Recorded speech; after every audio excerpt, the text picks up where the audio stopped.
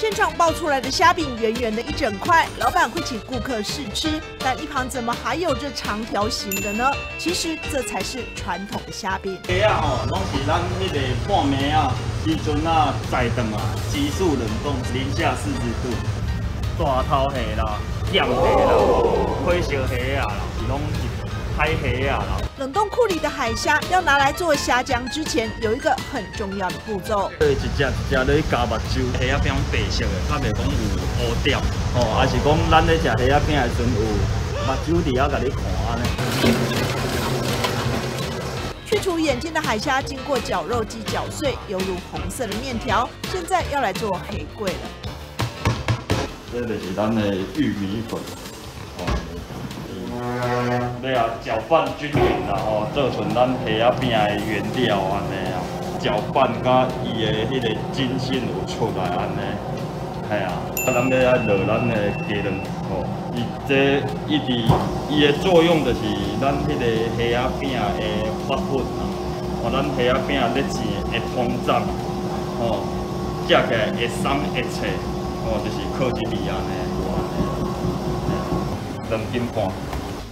伊这这步是咱上关键的，吼，内底袂使有空气安尼啦，啊爱有迄个扎实度，啊这顿嘛是爱有即个声，空气拢该接接好出来。做好的黑桂要送到里头，大火蒸两个半小时。啊，要炸大火啊，炸大火，吹两点四点半安尼才会熟安尼。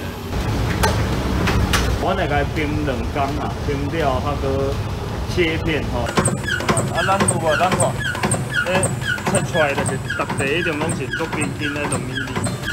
啊，伤高伊的就是白色，啊，而且佫伤过冰，啊，伤薄，伊就是食起来伤过蓬松，无迄个口感安尼啊。这个糯米粒是阮就是，阮感觉这是黄金比例安尼啦。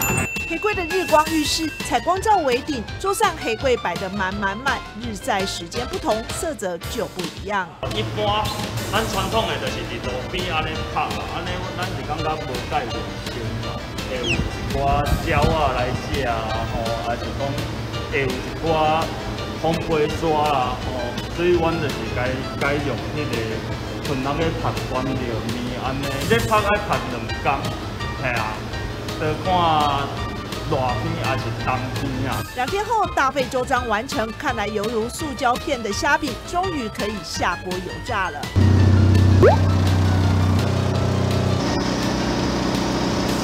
油炸的吃起来比较顺滑，非油炸的虾味比较重，比较脆，对，比较好吃。嗯，这个是没有炸的，虾味比较比较香。对，因为它这个感觉就是没有太多的味道，油味比较重。